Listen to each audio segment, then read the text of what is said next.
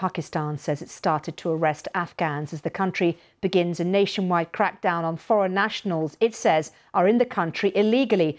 Many millions have fled from Afghanistan to Pakistan over the years, most recently to escape the Taliban takeover in 2021. Well, the Pakistan government says it's following its own rules, but human rights groups like Amnesty International have criticised the policy, which they say leaves some vulnerable groups in grave danger. Well, our Pakistan correspondent Caroline Davies has more from Islamabad.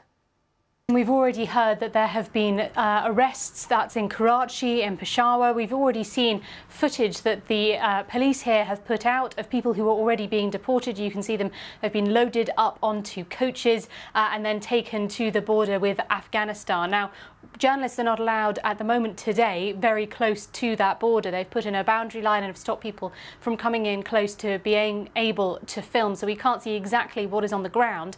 But yesterday, uh, me and the team were very close uh, to that area. We were in Peshawar, uh, which is one of the main roads on the way up to the Torkham border, a big crossing uh, between Pakistan and Afghanistan, and we could see uh, um, lorry upon lorry of people that were travelling uh, from across Pakistan to go to Afghanistan, people who were Afghan nationals who were worried about what might happen to them if they decided to stay in the country. Now, as you mentioned, the Pakistan government has said this is about people who were in the country illegally, but some of the people that we spoke to said that they had got documentation that is considered to be legal documentation, uh, but that they had still faced harassment from the police. Uh, that led them to think that this was the only path that they could take, that they were deciding to leave before they were potentially harassed further or even deported. Now, uh, as I say, the Pakistan government have said that this is not about people who've got official documentation. They've said that they will be aware of people who are particularly vulnerable. But the UNHCR has also talked about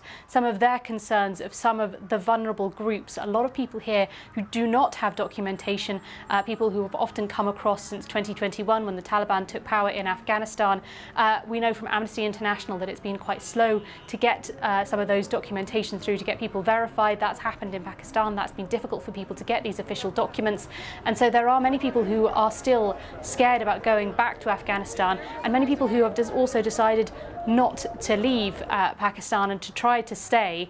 The Pakistan police have said that they have been working out where all of those individuals are, whether they're in cities, whether they're in villages, and that they will start that process uh, of deporting people who are here, they say, that don't have the right documents. Caroline Davies there in Islamabad in Pakistan.